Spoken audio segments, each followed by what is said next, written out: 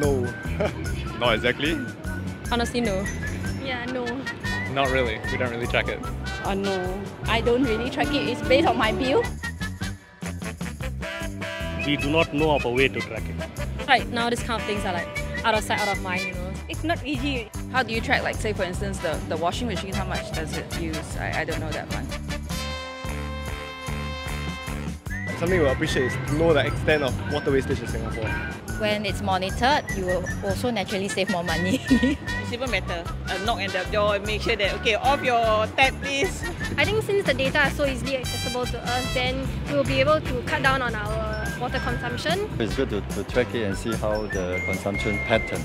Um, I think that that'll be like very beneficial because it will allow us to see the data and see how we can make changes in our lives to reduce the amount that we use.